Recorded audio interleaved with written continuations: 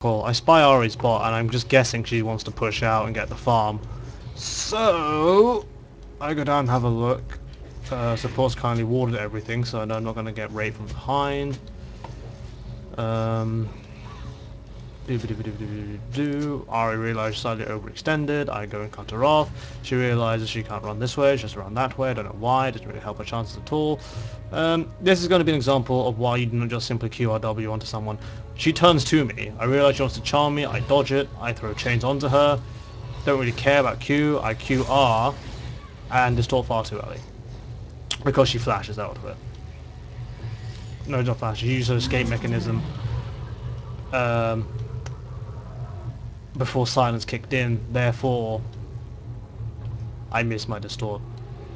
I honestly didn't care because I knew from experience my EQR could just kill her at this stage. She didn't have exactly... What does she have at this point? She had no MR. And that's all she has at 24 minutes. Her AP is quite frankly terrible. She's out of the game, but oh well, you're a Blanc, you can't really carry.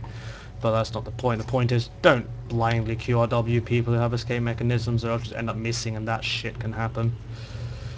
if I fail, therefore you don't have to. Have fun.